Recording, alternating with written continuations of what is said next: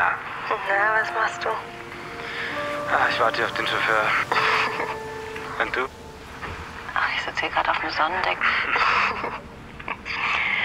nee, aber mal ehrlich, wir haben uns so lange nicht gesehen.